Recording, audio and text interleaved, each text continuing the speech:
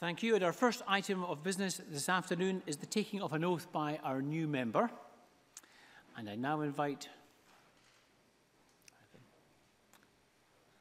I now invite Bill Bowman to take the oath.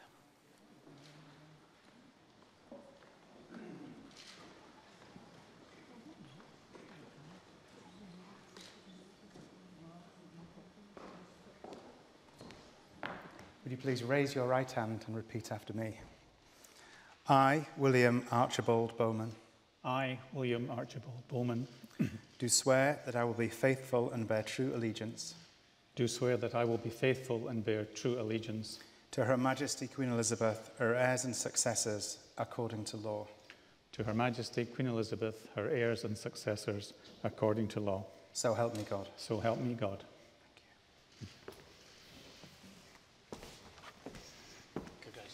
Thank you very much indeed. Thank you.